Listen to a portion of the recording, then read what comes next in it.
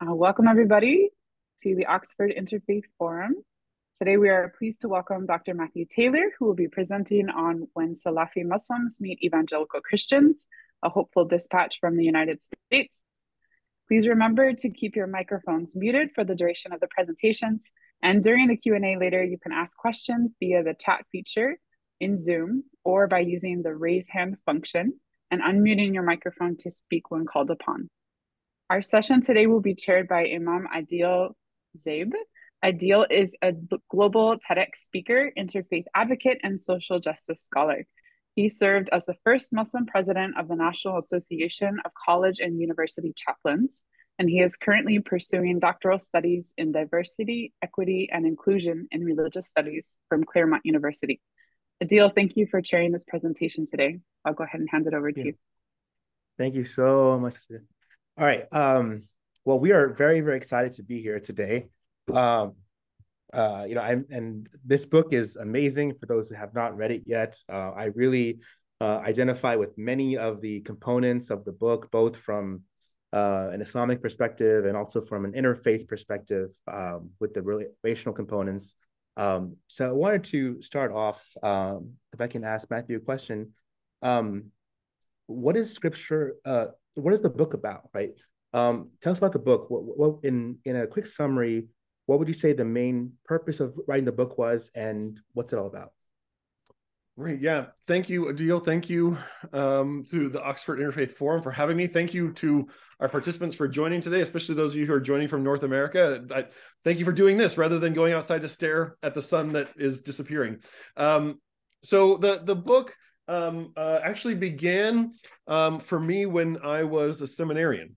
Um, I was at Fuller Theological Seminary um, in California, and uh, I, I um, realized that I was very interested in Islam. Was very interested in um, in studying Islam and understanding more about Islam. And the more that I studied this group of of Muslim thinkers and and leaders called the Salafis, the more I experienced um, what I what I describe in the book as, as experiences of deja vu, uh, things that, that that echoed and resonated in particular ways for me as somebody who was evangelical at the time. Now, as uh, I, I, don't I no longer identify as evangelical, but had, had as somebody who was very much shaped in an evangelical context and by an evangelical experience and and I, I, I wound up getting a PhD and writing my dissertation. The, the book is actually kind of emerged from my dissertation, um, really to try to kind of understand that question: Why was I having these experiences of deja vu? Um, and uh, Jonathan Z. Smith, who I quote early on in the book, who's one of my one of my favorite scholars of religion, talks about comparative religion um, and comparative religious projects begin in these experiences of deja vu where we we feel like we're we're, we're studying another tradition. We're studying something that it should be foreign to us and yet we, we have these experiences these echoes the, we, we hear these resonances and we're trying and we try to make sense of those resonances um, and so I started diving in deep into trying to understand Salafism, especially Salafism in America, um, because I felt like the, the more I, I, I I tried listening to kind of Salafi preachers and read Salafi literature from other cultural contexts, but the more that I looked at the American case, the more I noticed similarities to evangelicalism. Um, and I'm not the first to observe these similarities between um, really between Protestants and Salafis. I mean, sometimes Salafis themselves, when they are speaking in Western contexts, will describe themselves as the Protestant reformers of Islam. And so I really wanted to get underneath that to think about um, what are the similarities, what are the differences, and um, why do we know why why is there this convergence, especially in the American space? Um, and so the book comes out of that that question um, and. I, I, really focused in on, on one major institution of Salafism in the United States, Al Maghrib Institute. Um, and I, I, as I realized in the course of my studies, um, Salafism in the US has changed a lot in the last 30 years. In, in, and, and, and 9-11 was in many ways a catalyst for that. So for those who might not be familiar with Salafism, um, it's a renewal movement in modern Islam um, has its roots in much earlier movements um, and other kind of renewalist currents of Islam, especially within the Sunni tradition. But it really kind of crystallizes in the 20th century. Um, and um, it's it the, the the goal of Salafism is to get back to the experience of the Salaf, the, the, the righteous ancestors, the first three generations of Muslims.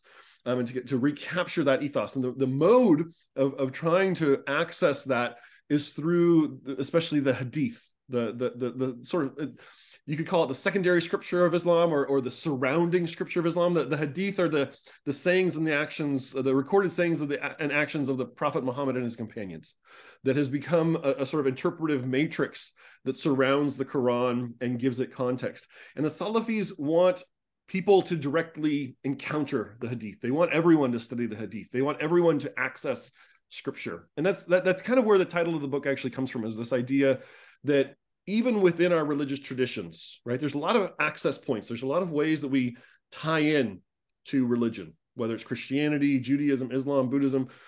But for particular communities, scripture becomes their, their their core point of access and that that direct access to scripture that direct connection to scripture is very crucial to them and um, so as I as I as I studied this and as I as I really dug into it and started interviewing some of these Salafi leaders, I, I just started noticing all these points. And and um, somebody at one point suggested an analogy from um, from uh, biology um, that there's there's this, this idea of convergent evolution, right? That that different um, uh, uh, animals can develop very similar traits, but be, evolve. They can be completely genetically detached from each other right? So birds and bats both fly. They both have wings, but they they are not genetically related, right? And so it's it's the environment and and the, the, the pressures of the environment that really shape that. And so the book is trying to kind of think about the, this American case study. And I'll just just kind of um, uh, maybe close my, my, my comments with this. Um, what I discovered in looking into American Salafism is something that um, is not reflected in any of the literature on Salafism that I could that I had found um, what I if you go and read a lot of the literature on Salafism and and and I'll, I'll just say a lot of that literature, especially the academic literature, has been shaped by counterterrorism studies um, because um, Al Qaeda and ISIS both identified as Salafi. Um, that that that terrorism lens has really um, um, uh, molded the, the discourse around Salafism. So this is why people call Salafis radical Islam or radical Muslims. And and um, but the vast majority of Salafis have uh, are not um, interested in in jihad or they're not interested in uh, terrorism. They're, they're, they're interested in scripture study. And so, um, and and then as I looked at them, there, there's also the, this this lingering legacy of uh, of the discourse of Islamic fundamentalism this idea that oh it, fundamentalism is something attached intrinsically to islam even though the term fundamentalism emerges among american protestants in the 20th century and that that therefore these folks are rigid and cannot think differently. And yet the people that i encountered especially around al-maghrib and al-maghrib has, has really reshaped salafism in the united states as an institution they, they're very flexible they're very adaptive. They're very interested in in um, uh, uh, fitting into american culture and living within uh, american society. And um, what i discovered um, in my research was an incredible story of hope of how in, envir- in an environment of religious pluralism even an environment of religious pluralism that is that is, in, that is threatening to, to american muslims and contains all kinds of islamophobia and prejudice against them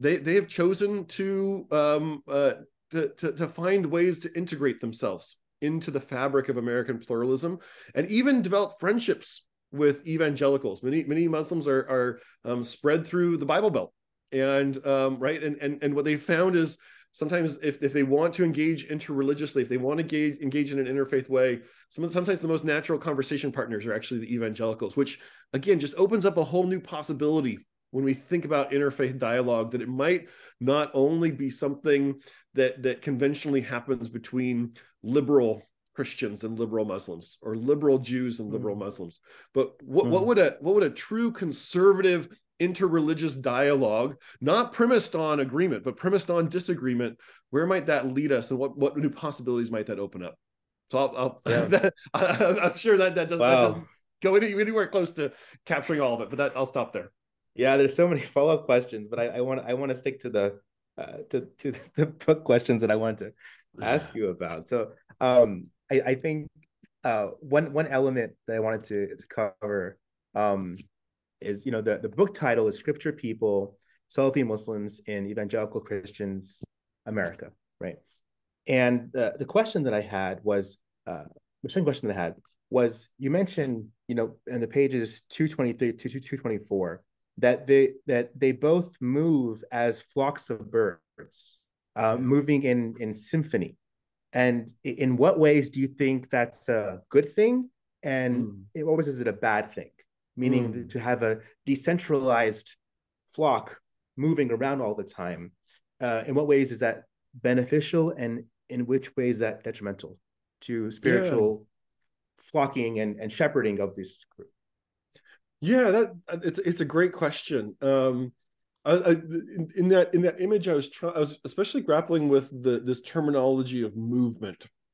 Right, we we use this term yeah. movement so often in reference to religious groups, and yet when we think about a movement, I mean, the the the, the joke is a movement's got to move, right? A movement has to um, to, to, to operate in in um, a cohesive way and and have an agenda and have a purpose.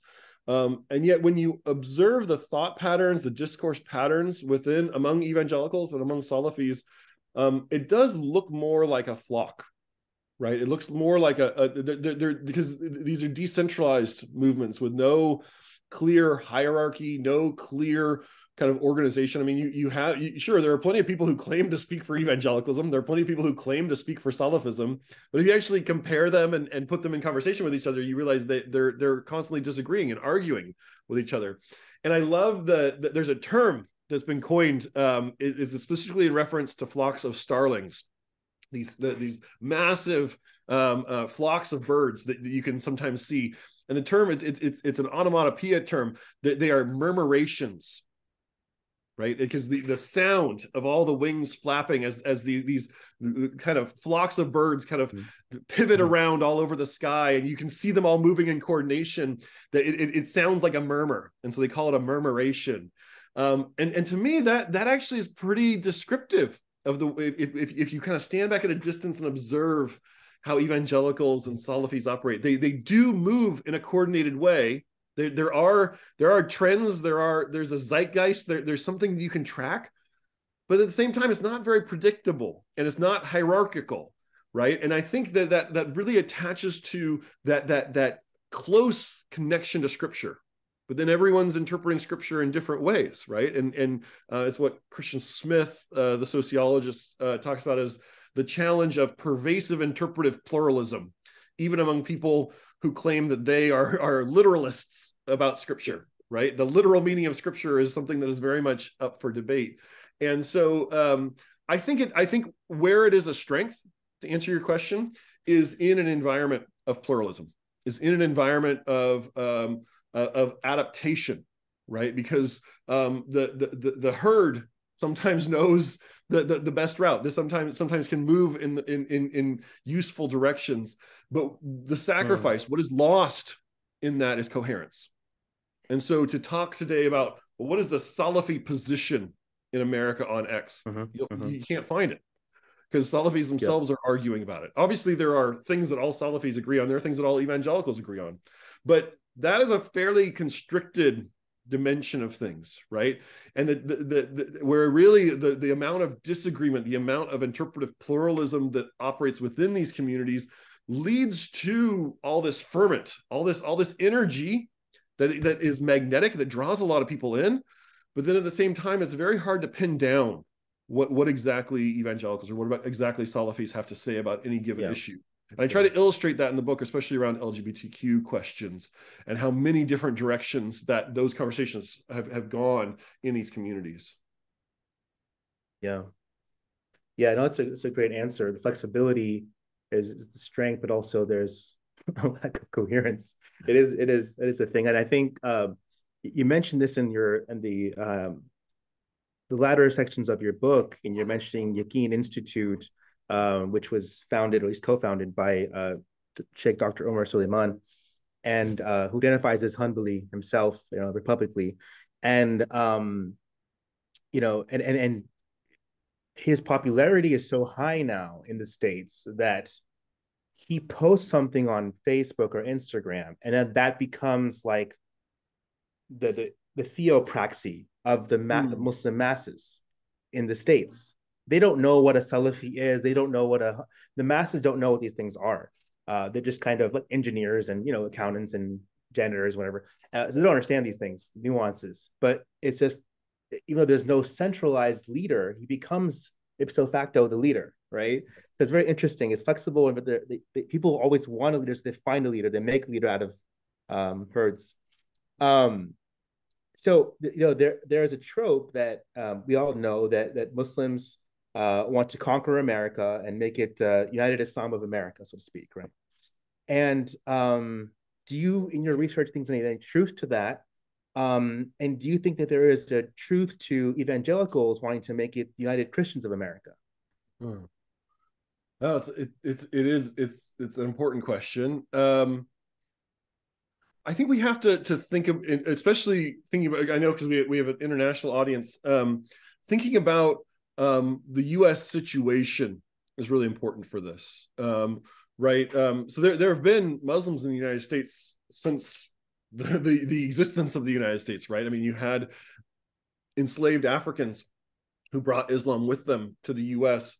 Um, mm-hmm. But really, after 1965, there's a real shift in the American Muslim community because of the Hart-Celler Immigration Act, because immigration is is opened up really to the globe, um, and you have Muslims coming from all over the world. Uh, right there, there was there was a real contingent of African American Muslims prior to that, but then you see this this great diversification of Islam in the United States, um, and I would say um, th- there were there's de- there was definitely um, elements of of awkward integration going on in there. And there, there definitely were moments where um, some Salafis particularly but but other other muslims felt like no this this we, we the the this is uh not the daughter of uh, Dar al-islam right? This is not the abode of islam and we need to either convert it or migrate away from it right? And they they they, they thought in those kind of binary terms. We need to either make america islamic yeah. or we need we need to, to to migrate away from it. We, we need to we're from Hijra. We need to go back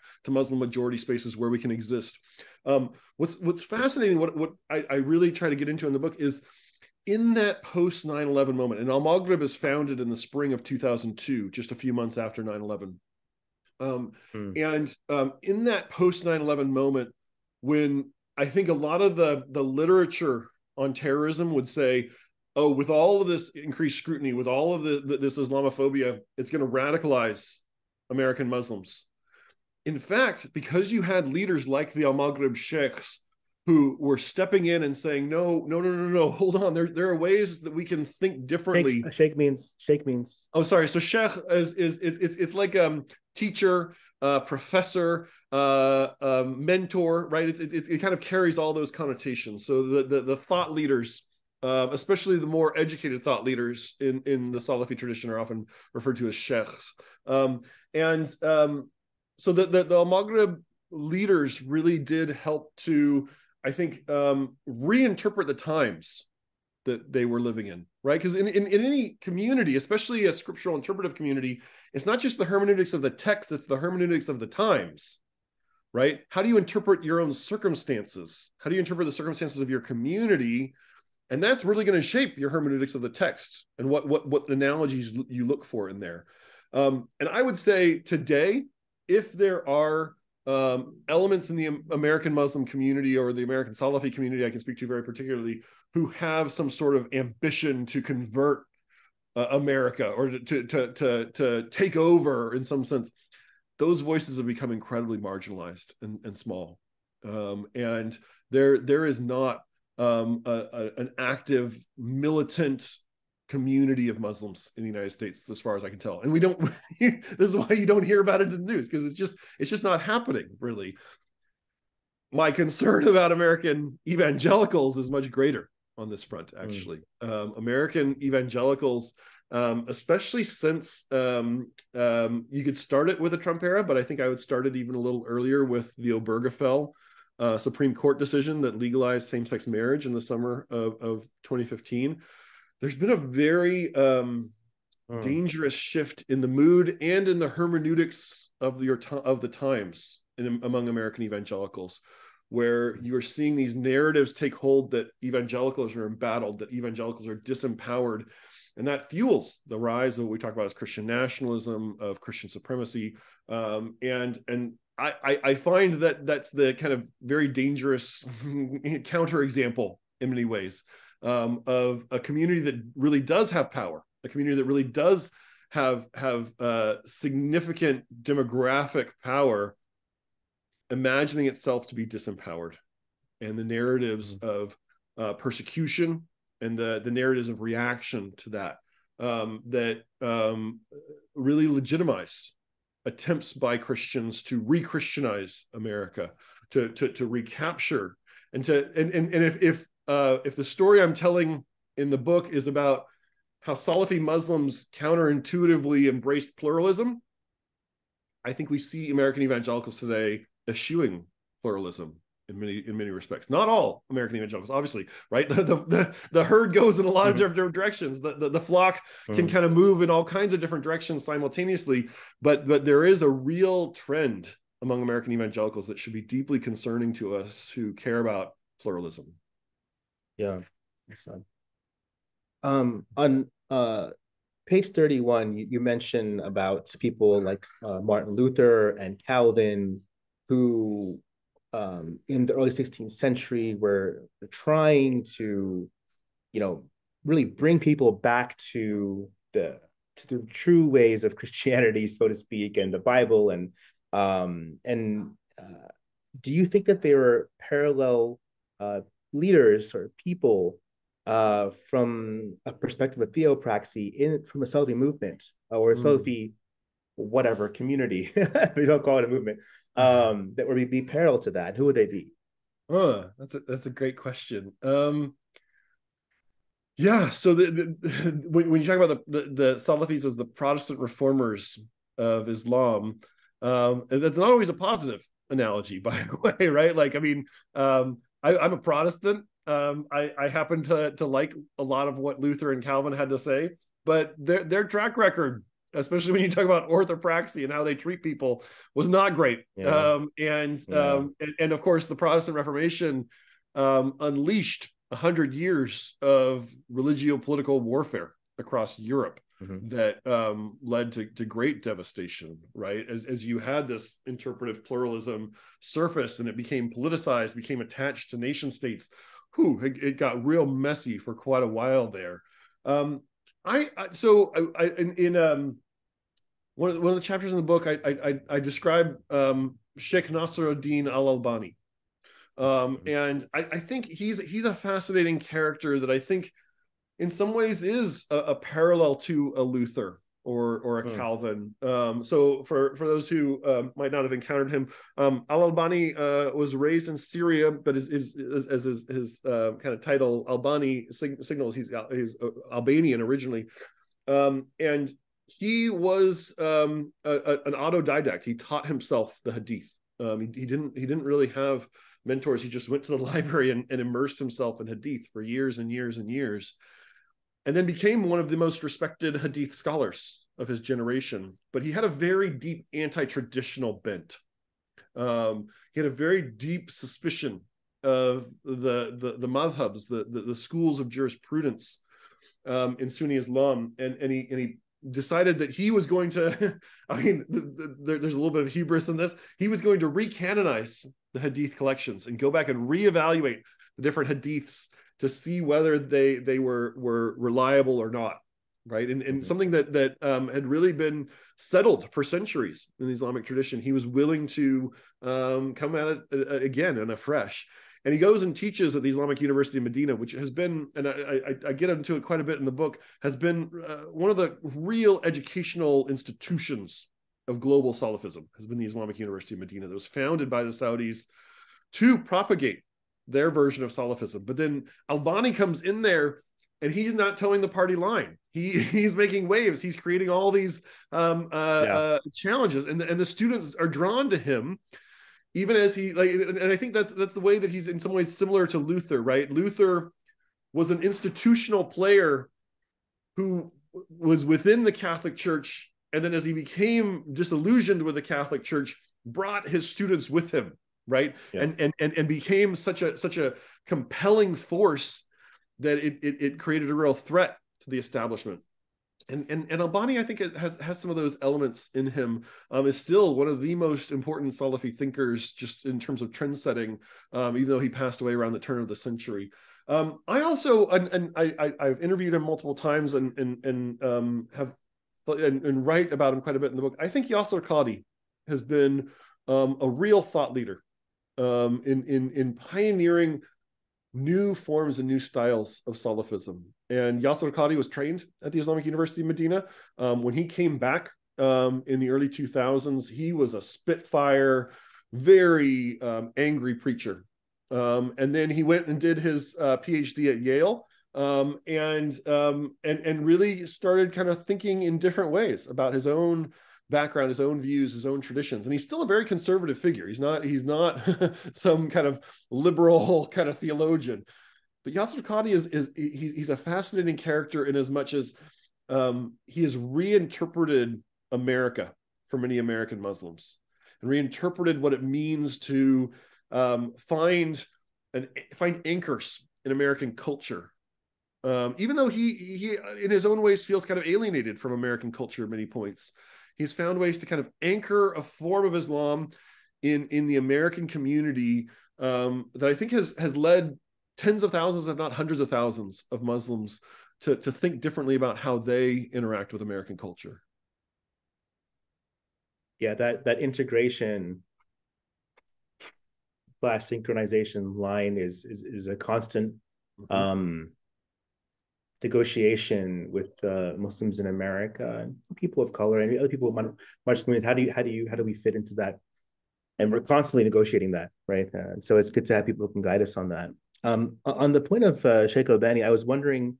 Um, now I'm wondering if I should call him Sheikh Albani. Like how do I refer, refer to him? Based, anyways, uh, Sheikh Albani, we'll keep that for now. Um, you know he's not focusing on the madahib right? Or the um the major jurisprudential schools of islamic thought or jurisprudence. Um and you also mentioned that mcgrath had quoted him saying that the dead hand of previous generations right? And kind of operating with those. Um so i'm, I'm wondering now in my own academic studies when we have female uh, muslim uh, scholar, uh, academic scholars in islam you know, who are now going back and reinterpreting uh, the tafsir of the Quran, right? Mm-hmm. Not changing the Quran, not most of them, but some of some of them, but most not changing the Quran, uh, but reinterpreting it from a female lens because that was generally speaking missing in the uh, in the literature. There were female scholars, but it just wasn't generally speaking written down what their opinions were on this verse or that verse in the Quran. So, do you think that my question, sorry, long. Uh, the question is, do you think that the way that Albani was uh, thinking and writing is similar to what these women are doing today, and mm. some of the Gen Z is doing in terms of being weary of the establishment, um, the Gen Z uh, culture now? So, do you think in some ways he was kind of an inspiration for women and Gen Zs in general today? I mean, I, I do. I, I think. Um, mm. I mean, I, Al Albani get, gets in quite a bit of trouble in Saudi Arabia because he, he issues a fatwa, right? And fatwa here just just is the the learned opinion of an expert, right? It's it's uh, I, I sometimes compare fatwas to amicus briefs, right? Like it's it's like it's like an advisory opinion that is is is shared by a scholar upon request. But he issues a fatwa in Saudi Arabia that says that that women do not need to cover their faces. And he's basing this on hadith and his interpretation of, of the precedent of the Prophet Muhammad.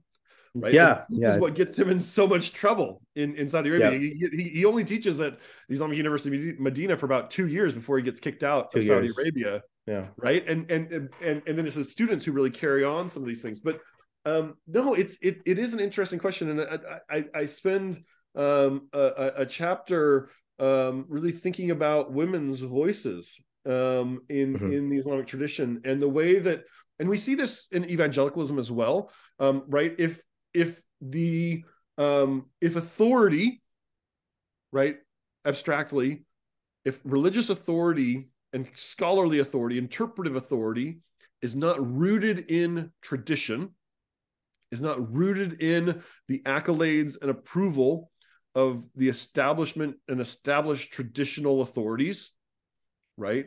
Then it opens up new possibilities outside of, of the patriarchy, outside of the hierarchy, for other mm-hmm. voices to become accredited, for other voices to step forward. And you can see this. I mean, there, there, there's a long-standing trend of evangelical women finding their voice through the text mm. and anchoring their interpretation and saying, okay, well, if authority rests in the text, I'm using the text now. So why don't I have authority? Right. And I think I see uh, you can see some of these similar trends going on, not just in the United States. I mean, there there are there are um, women who are stepping forward and, and accessing parts of the Islamic tradition that I think um, the, the, the cultures of patriarchy have hidden. Right? I'm not saying I'm not saying Islam hid those. Right? Cultures of patriarchy. No, I'm with you 100. percent have, have, hidden those, yeah. and they're uh, just to give an example. And it's not it's not a Salafi institution per se, but there's there's a wonderful um, institution called Rabata in the Twin Cities um, that is um, it's it's women scholars and women teachers teaching their fellow women um, about um, Islam and about and and and and using the authority that that is attached to them. And and you even have um, women and I, I have interacted with a lot of the, the, the students and the and the teachers there and um, it's a phenomenal institution. And I think in some ways what Albani and and even the integration of Salafism into American Islam has opened up is more of these possibilities for for again people who identify and understand themselves as orthodox to think and, and and and interact in new ways right it's one thing for a, a, a liberal progressive um, kind of theologically liberal person to say oh i'm discarding all, all of the patriarchy i'm discarding everything i don't like about the mm-hmm. interpretive mm-hmm. tradition mm-hmm. and i'm just going to run in my own direction and i have my interpretation right that and I, I, that's fine i don't i don't mind people doing that but it's a very different thing when you have people saying, no, I am firmly planted in the tradition, but I'm reading it in a different way. Right. And I and I I see something in here that I want you to pay attention to. Like that it's a it's a different form of authority, it's a different identity claim. Um and and I think in the in the ways that people stereotype Salafism as being disempowering to women, I actually think that there's there's space within Salafism. You see this in Al Maghrib um, for women's voices to become accredited in a new way. Yeah, no, that's that's a beautiful answer. Um, and I, I think part of that, uh, the impetus behind that could be, you know, if you are going to go back to the first generations, you see how they empowered women and how we yeah. did not. So part of that cleaning up the the jahiliyyah or the ignorance that has been accumulating and and and, and washing Islam of the impurities that's been accumulating over the past years is to go back to that and um, some of the medieval period as well. I think to add to mm. that. Um, so what one thing that I, I really resonated with was uh, you know I used to go to Al Maghrib as well um, or, uh, when I was younger um, and I, I, I, there was something you mentioned uh, where you went to dinner with uh, Sheikh Yasir Qadhi, uh, Sheikh Dr. Yasir Qadhi, and uh, some of the Al Maghrib students, and the they had arranged the the tables and the chairs in a way that it was advantageous for the entire community to hear everything that Sheikh Yasir had to say and they said they, they were they were holding they were like i mean we they were every ounce that they could get of the knowledge every moment they could get was just you know captured and and and they just couldn't couldn't they didn't want didn't want to leave and they were just um, savoring the moment so to speak right?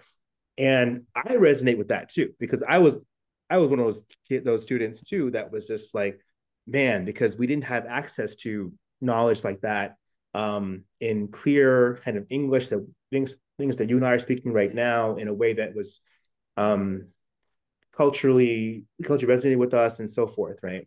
Um, and Sheikh Yasir had a similar background growing up as, as we did as well. So um, as someone who's not Muslim, as someone who was observing this, right, and as someone who came from maybe a mirror tradition in the Christian lens, how did that make you feel right? Mm. What what what started to like pump out of your soul, your heart, mind when you were seeing this like passion for Islamic knowledge and right? Yeah. No, yeah. I so um the, the, just just for for the audience, um, the model of Al Maghrib, um, and this this again just just kind of drew my attention very early on, was so what, what they would do is they instead of having kind of for a formal building that they are asking students to come and be educated in, they would go they, they'll do weekend seminars, and these are intensive seminars. I mean, it is uh, from Friday night to Sunday night is probably twenty hours of instruction, right? Mm-hmm. Um, it, it, it packed into a weekend um, and and and and students and they'll do the, these at uh, on university campuses and in in, in mm-hmm. spaces that that um, are are very much educationally oriented. Um, and so the I, I went to a, a, a, Al Maghrib seminar at the um, University of Maryland, and um, in, in College Park, and we we and I, I had asked Yasir if I could if I could interview him afterwards, and so uh, he's like, "Oh, sure. A few of us are going to uh, this this uh, halal restaurant afterwards, and come feel free, and I'll, I'll try to find a few minutes to talk with you." And it, it really was fascinating to see these students who, I mean, they, this this was on Sunday night, so they they had already spent twenty hours sitting under Sheikh Yasir, right, and listening yeah. to him, listening at his feet yeah. and learning from him. Um, and yet, uh, about four, I think thirty or forty students were were there at the restaurant with us, and my wife and I were kind of sitting at a separate table because there there wasn't even room for us around Sheikh Yasir, and and and and people were wanting to soak up even more, and it, it reminded yeah. me of of uh, of when I was a college student going to um, uh, Christian conferences, um, and going to Bible study conferences, and mm. like yeah, there are social reasons that you're there yeah, there, there, there are there are social pressures and those uh, those, but part of it is you want the knowledge, right? You you want you want that that close connection to scripture, and you want teachers who can make it plain to you, right? And and and so I mean, and and the incredible thing is Yasir. I mean, he he had been teaching for twenty hours that weekend, and he still had that energy. He still had that glow, right? Mm-hmm, um, mm-hmm. And so I I, I think it was a, another one of those moments of deja vu for me where I, it's not a perfect parallel, right? Like sheikhs are not the same as pastors or or kind of yeah. teachers, right? But th- it was it was a moment of I see a, a, an impulse among these Muslim students that I recognize because I, I, I felt that too. I felt that kind of desperation, that that that moment of the thing that I've been longing for. I am now in the presence of, that mm-hmm. knowledge of scripture that I that I can have access to. But the, the other thing that caught my attention that I love about Salafism is and, and it feels very Protestant to me is um, even though all these people are there to learn at Yasir Qadhi's feet, even though they're there to to to to access the knowledge that he possesses, they are very willing to question him and challenge him and if they thought he was interpreting something wrong, they'd say, "Whoa, whoa, whoa! Well, what about right?" So it was, it was not it was not that he is the the, the sage on the stage who is simply conveying knowledge. Stage on the stage, right? Yeah. He seems like he, he he's another human being to them. He's a human being who possesses more knowledge, but they themselves identify as students of knowledge, right? And so there, there's this way that yeah. um, when when you disrupt authority you move it into the realm of access. And there's a democratizing impulse to that that I think is, is, is a really wonderful feature of evangelicalism and Salafism. This democratization of knowledge. Yeah. Um, and and and then the way that that it invites everyone to be a student, invites everyone to come and access that knowledge. Um, and I saw that that night at the halal restaurant. Um, and in talking to Yasir, um, that there was something um, profoundly compelling about it? Yeah, there's um I think it's like tr- trying to find a healthy balance of um reverence and deference. Mm. Um at the same time critical critical thinking about it. And that's part of the culture, right? And so okay, so you said this, but then this hadith says this, this ayah says this. Can you uh, Sheikh, please enlighten me on this, right? Uh, trying trying to think of find a nicer way to say I don't get where you're getting this from because it's obviously contradicting this. You know? so, um, I, from a racial perspective, I, I wanted to ask you as well about did you find any striking differences between the Black African descent Salafi, mm. uh, Salafi Muslims and the uh, Salafi Muslims whose families came from other countries? Which yeah, countries? No, it's a great question. Um, and for those again who, who, might not know the American Muslim history that much, so uh, black Muslims um, largely congregated around Nation of Islam. in the in the middle of the 20th century. Um, and then, of course, um, Elijah Muhammad passed away, um, and his son Warith Deen Muhammad kind of stepped forward in, in, leadership in the community. And Louis Farrakhan led a breakaway movement that claimed the Nation of Islam title, but it, it, it really there really is a disjunction that occurred. And in that moment of disjunction, where you had these two kind of competing trajectories of the Nation of Islam, the the Louis Farrakhan trajectory and the Warith Deen Muhammad trajectory that really wanted to be more mainstream Sunni. A lot of African American Muslims felt very disillusioned because um, they, they they they thought that they'd had that, and then suddenly there's this fracture, and so many of them became Salafis, and so there still are um, large Salafi communities that are African American, um, and especially in in Philadelphia, in some in, in Camden, New Jersey, there there there's still large pockets of African American Salafis. Um, what I found, um, and and and it was it was because it, it, was a question I had perpetually is those African American Salafi communities, not not across the board. I mean, there are many African American Salafis who participate in Al Maghrib, but the, the, those Salafi communities have tended to be, if anything, more much more hard line in their mm-hmm. Salafism, yeah, yeah, than than the Al Maghrib types right mm-hmm. and so i was trying to kind of get to the, the root of that and and what i actually found was a lot of that actually has to do with saudi government policy of all things, mm. because the Saudi government tried to, in, in many ways, hijack the Islamic University of Medina in the 1990s and install their loyalists, especially this one professor, this one Sheikh Rabi al Madkhali. And as, as many of these African American leaders were going to study there, they studied with al Madkhali. And then they came back and, and, and brought some of his hardline things, including hardline things around like you can find this sentiment among African American Salafis like, no, we need to be loyal to the Saudi royal family right? Which feels absurd if, if, if, you're only thinking in terms of America. But again, this is a kind of transnational dimension of things. And and the Al Maghrib folks are are folks who kind of uh, resist that in many ways and and have have in many ways denounced the the identity the ideas of Al Madkhali. Yeah. And and and this is an interesting thing to think about just globally because the same the same Sheikh uh, Rabi Al Madkhali was very influential of a full generation of Salafis globally because they were people from all over the world studying in in Saudi um, dur, under Al Madkhali and at the Islamic University of Medina, and um, and so there's you can you can still find this if you go look at the literature on Salafism in Europe, the literature on Salafism in the Mediterranean. Rabi al Madkhali still has a very uh, profound influence on many Salafi communities. Mm-hmm. Um, and um, and and and has ignited very similar debates in many spaces. I think it has played out in such a fascinating way in the United States, though, where you you have in many ways a rejection of because Al-Madkhali was very anti-democracy.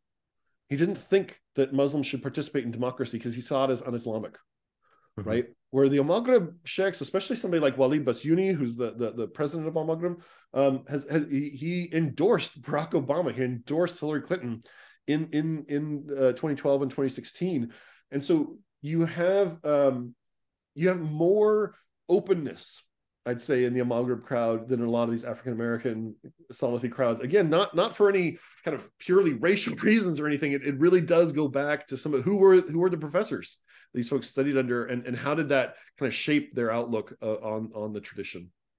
Yeah, and I, I think even um, when I, I talked to some of the even uh, black Christian preachers, right, and they would mention that, you know, it, in the black community, if they knew a, a woman like in high school was Muslim, those guys knew she was off limits mm. because she is a very like pious and, and modest woman who cannot be engaged with by by us who are trying to get a trying to get a girl you know so it was like it was very interesting because the reputation they had they kept that going uh, even into Sunni Islam uh, mm. from the nation of being very, very strict to the principles. You mentioned uh, this uh, uh, program called uh, Awana mm. when you were younger, and and how they would, um, if you memorize a, a, smaller Bible biblical verse, you would get candy, and if you memorize a larger biblical verse, you get a candy bar, maybe a Snickers or something. I don't know and um and and you mentioned uh you know that hey it, it, worked for me because i still if i go to lectures i can finish what they're going to say before they finish that bible quote right? And um and then talk more about how those experience and you know and i, I think about in, in the muslim community the, the parallel is uh when kids are sent to the madrasa which means school um and they're doing the hifz program um uh, or when they memorize the Quran, you know, and that kind of resonated with me. And then I, am thinking about uh, how, how you mentioned your experience with your children, right, and how they're in school now, how that's different than what you what you went through. And talk more, more more about that experience with your children and and and how you kind of relate to your childhood and their childhood and and how you choose to where put them in school in that regard. Yeah, the so the, the title of the book, Scripture People, is is my attempt to find a common language because when when when evangelicals talk about themselves in contrast to other Christians, they'll often say, "Oh, we are uh, Bible believing Christians," as, as though like other Christians didn't believe the Bible, right? But they they, they have an atta- a personal attachment to the Bible. And similarly, when Salafis um, will refer to themselves, they'll sometimes call themselves people of the Hadith. Mm. That, that we we are we are al al hadith. We we are we're the people who hold the hadith, right? And um and and and I I think that there's a, a way if you if you have not participated in those communities that that seems arrogant, right? It seems like oh you, you these people are claiming that they're the real scripture adherents, right? But there there is there is an investment. There's there's a deep uh, investment in these communities. So I grew up going to this, uh, uh, participating in this organization called Awana. It, it's it's an acronym that uh, comes from a Bible verse that doesn't really have anything to do with what the organization does. It was just the, the, the title they chose. But Awana specializes in Bible memorization, and so uh, every week I would go and I would I would immerse myself in memorizing the Bible, and then they, as you were saying, they they would incentivize this with sugar. And so, ironically, though, those, those passages are stuck in my head right? That the social engineering of these parachurch ministries to to get children to memorize scripture is still is still built into me. It's still a part of me. Mm-hmm. Um, mm-hmm. and and and I, I I the the thing that occasioned that in the book was I was I was reading a, a Salafi magazine and there was there was a an advertisement for a children's daycare program in one of these Salafi magazines, and it's it and and in this like it's it's like a it's like a preschool kind of space, but they're also talking about hadith memorization and Quran memorization and Arabic, right? And and there's there's a way that the culture of study of scripture wraps everyone up in it, even the youngest, right? And and, and draws those people in. They they are being mentored into being scripture people, mentored into being al hadith, mentored into being Bible believing Christians.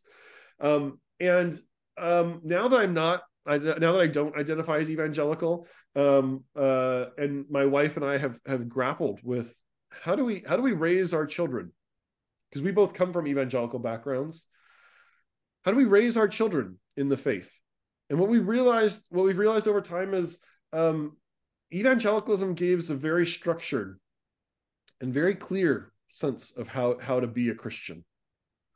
Now, I, am sure many of us would have problems with that, that, that, that summary, right, or, or, tensions with it.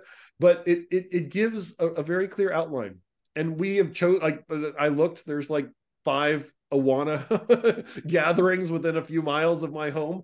We haven't chosen to do that with our children, um, but we have tried mm. to find more structured churches. In fact, we were going to a church today that would probably not be the church that my wife and I would choose on our own uh, with our theology and our orientation. It's more evangelical than I think what we would choose, but it's great for our kids and it gives them a lot of structure. And I think um, it's it's a it's a challenge in our pluralistic environment. How do you raise children up being exposed to the best of your tradition and still hold that lightly as in allowing them space to make choices and, and figure out who they are in the world. Um, and and I think there's something really powerful about young people encountering scripture and and and and feeling a sense of connection and ownership to it and I'm, I'm I don't I don't want to go quite as far as I did as a, as a child, but I want my children to be exposed to the best of that, I guess. Yeah, yeah, I definitely I I had a, a colleague and friend of mine um, yeah. who was who's who's Asian, and um, you know he wanted his child children to learn uh, martial arts, and um, he's he is uh, from a Christian background, and at, at some point, they started to implement Buddhism into the practice. And he took him out at that point. He's like, my kids are Christian. We're Christian. We're not going to, even though Kung Fu originated from that region. Yeah, so it's culturally, it was part of his identity, but there was a certain point where religion took precedence. Yeah. So time for us to wrap up Um, so first all, I wanted to thank everyone who was in, involved today.